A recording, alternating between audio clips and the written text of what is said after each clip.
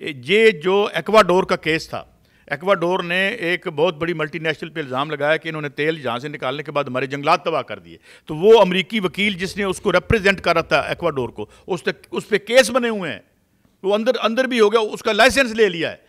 सब कुछ होता है भाईजान। उधर उधर ज़रा वारदात बारीक और सोफिस्टिकेटेड होती है। यहाँ वारदात क्रूर होती है। अतु चुकलो का हिसाब भाई ले चलो नाल। वहाँ ज़रा ज़रा तरक्की है ना तरक्की याफ्ता चुकने चुकाने की सर बात से याद आया कि आपकी इमरान रियाज साहब से हुई है मुलाकात उनकी वापसी अभी मेरी मुलाकात नहीं हुई मेरी उनके प्रोड्यूसर से बात हुई थी। शायद एक दो दिन में जाऊँगा। मुझे बड़ा एक तो खुशी है कि वो आ गए हैं लेकिन अल्लाह ताला उन्हें बहुत से जल्दी सेहत याब करे।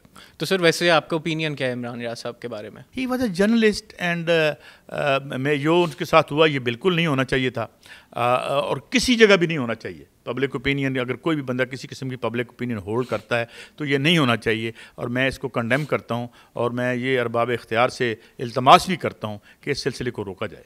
तो sir don't you think as a journalist एक फ़ाइन लाइन आ जाती है कि कहाँ पे आपको किस उस लाइन को क्रॉस करना है आपने अपनी ओपिनियन को लेके या नहीं?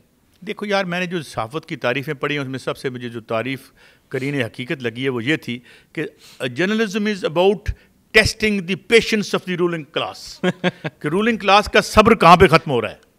देखो ना ये एक बात मैं आपको बता दूँ कोई ऐसा दुनिया का मुल्क नहीं है अमेरिका बहादुर समेत जहाँ करप्शन ना होती हो जहाँ पे गुंडागर्दी ना करते हो जहाँ पे जो इख्तियार का जो है वो नाजायज़ इस्तेमाल ना होता हो हर जगह होता है। सी आई ए क्या करती है?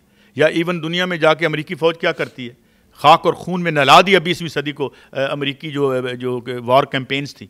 क्या किया? रिजीम हर जगह नहीं चेंज करवाई उन्होंने। क्या एक्वर उसमें क्या हुआ अपना उसमें? चिल्ली में क्या हुआ जहाँ पे अलहदे को मरवा दिया था। तो ये सारी वारदात चलती है उसमें हम अपनी नई फवाद में जो कर सकते हैं कर रहे हैं।